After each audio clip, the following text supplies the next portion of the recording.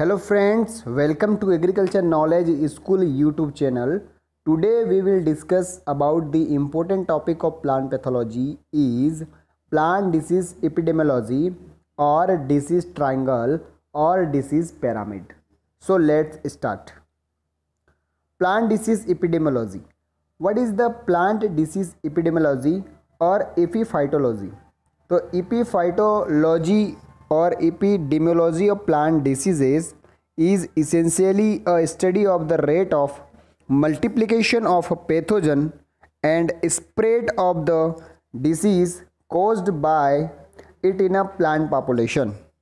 Epidemiology deals with outbreaks and spread of diseases in a population.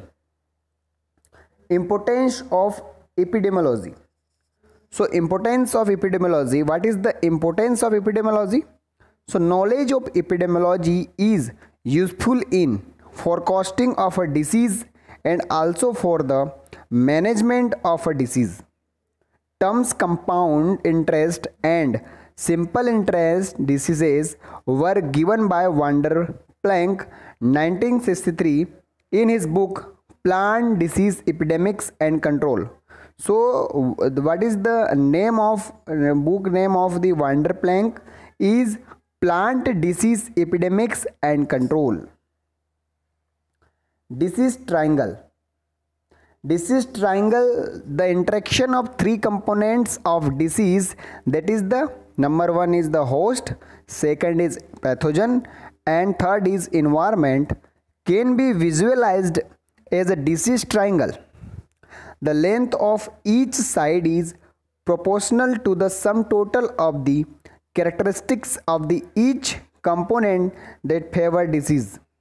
The interaction of susceptible host plant, virulent pathogen and favorable environmental conditions leads to the development of the disease. So, for the epidemiology, virulent pathogen, susceptible host plant and favorable environmental conditions leads to the development of the disease. So here you are looking the disease triangle and disease pyramid. So in disease triangle there are three factors are common is susceptible host, virulent pathogen and favorable environment condition. And in pyramid pathogen, plant and environment time is used. So time factor is included in the disease pyramid. Disease pyramid. So disease pyramid. The disease triangle can be ex expanded to include two more components, time and humans. So the amount of each of the three components of disease and their interaction in the development of the disease are affected by fourth component that is time. So thus addition of time component to the disease triangle results into a tetrahedron or disease pyramid. Essential components for an epiphytotic. So essential components or conditions for an epiphytotic is host factors. There are three components of epiphytotic or epidemiology. First is host factor what should be the host factor? Second is pathogen factors. So what should be the pathogen factors? And third is environmental factors. So host factors there are four factors are are used. First is distance of susceptible plants from the source of primary inoculum abundance and distribution of susceptible host. Third is disease proneness in the host due to environment and fourth is presence of suitable alternate और collateral host host factors so host factor में first is distance of susceptible plants from the source of primary inoculum so in this process longer the distance from the source of survival of the pathogen longer will be the time required for the buildup of an epiphytotic in a susceptible crop. Second is abundance and distribution of susceptible host. So continuous cultivation of a susceptible variety over a large con- contiguous area helps in the building of the inoculum and improves the changes of epiphytotics. Third is disease proneness in the host due to environment. So, susceptibility is genetically controlled, but the disease proneness in the plant to get infected can be induced by environment and other factors like host nutrition, excessive application of nitrogenous fertilizers, etc. Fourth is presence of suitable alternate or collateral host.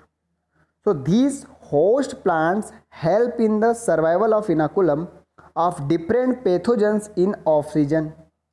Presence of barberry which is an alternate host to Puccinia graminis ttc helps in the heterogeneous infection chain.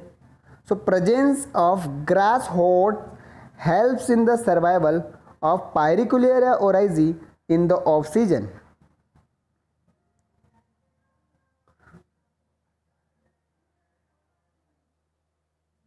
So these are the host factors. Next is pathogen factors. So presence of virulent or aggressive isolate of a pathogen. Number second is high birth rate of pathogen. Third is low death rate of the pathogen.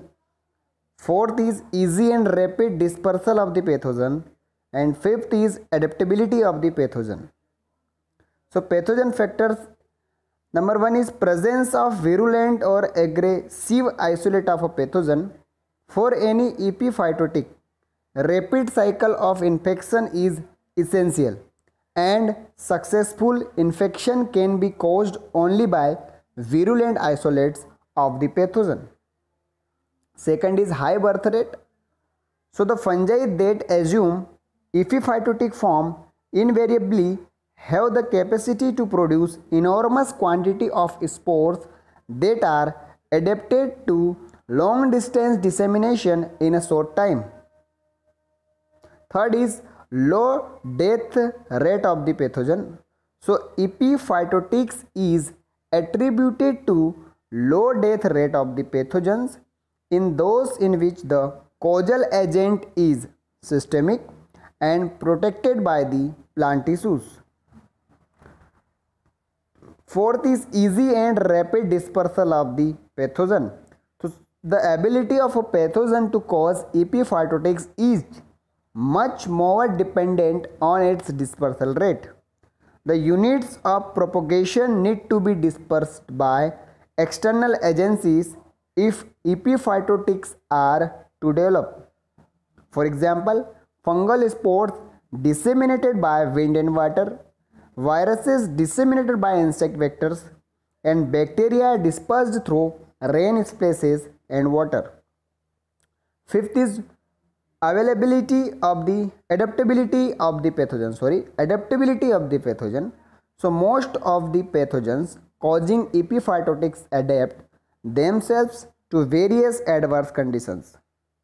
Third is weather factors so assuming that a particular fungus meets all the above requirements for causing an epidemic, the infection, invasion and development of epidemic may not occur if weather is not favorable for the germination of spores.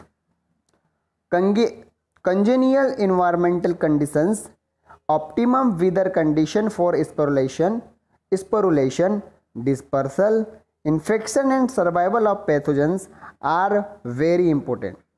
Weather conditions such as optimum temperature, moisture, light, etc. are very essential for the development of an epidemics. So this is the weather factors. And third, third is the it is the small terminology. What is metropathology? So what is the metropathology? So metropathology is science which deals with the relationship between weather and epiphytotics It's called metropathology. So metropathology means the relationship between weather and epiphytotics is called the metropathology. So thank you for watching this video. Please like our video, share our video and subscribe your video and press the bell icon for upcoming important YouTube videos.